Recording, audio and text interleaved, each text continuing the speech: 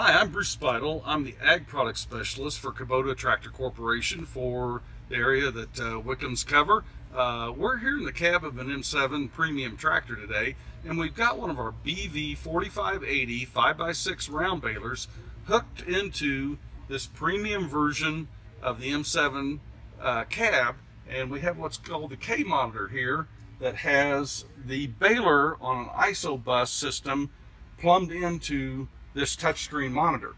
Now normally the baler will come with what's called a Focus 3 monitor which is a touchpad color screen monitor, very easy to use. But if a customer happens to uh, own an M7 tractor or another tractor that has an ISOBUS uh, monitor in it, we can uh, connect this baler into it and runs very easily. So you've just you've got it here. Uh, you can see this with our being our premium cab tractor. We've got the floating console. The monitor uh, floats with you and and uh, turns with you on on the uh, as the seat swivels or whatever.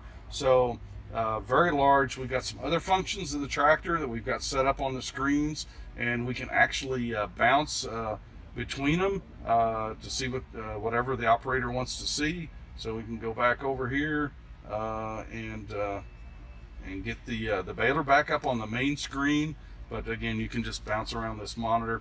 But um, this is uh, uh, the kind of the main run screen of the baler. Uh, we can easily set the bale size. If you want to go to 65 inches, uh, we just easily do that. If you want to change your mesh wrap from two and a half to, to three wraps, we can easily change that. Uh, you can see this little steering wheel going here as uh, you go through the field and you're uh, making your bale. It's going to give you three visuals on, on how you need to make your bale. Uh, so you can come out with a great looking bale every time. Uh, so the steering wheel is going to turn right or left. You're going to get these driving indicators and they're going to get stronger as you go out. And then you're going to get this, uh, this icon of a bale there. And you see right now it's showing a cone shaped bale. Now an hourglass shaped bale was uh, showing up there. It'll show a cone one way, it'll show cone the other way. So it's going to tell you exactly what your bale's looking like. And then you can make the adjustments. And we can set the sensitivity on these driving arrows to meet the customer's needs. Uh, so if he wants it more sensitive or less sensitive, depending on uh, how he bales, uh, we can easily do that for him. We can change from automatic to manual if you need to finish off a bale, a short bale in the field, uh, you know, at the end of the field, we can easily do that. Um, this graph is going to show you how your bale's growing. At 90%, you're going to get an alarm. At 100%, you can alarm, stop. You need to stop the baler, and it'll auto tie with the mesh or with the twine, whatever you have uh, have set up on there. Um, you have this actuator button if you need to change your mesh wrap. Uh, you raise your actuator back on the baler. We go reload the mesh wrap, and then you push the actuator button down uh, as uh, as well. Um, you've got a master bale count. You got up to six screens to show uh, different fields for your bale count. We'll also show you the number of feet of mesh or twine that you've used.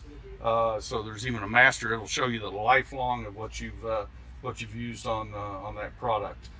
So if you happen to do some custom baling for a neighbor or that's your business, you can got the multiple fields. You can take care of all that, and it's easy to go tell your your customer, okay, I baled 50 bales and use this many feet of mesh or this many feet of twine or whatnot and uh, it's it's easy to uh, settle up with a with a customer that way.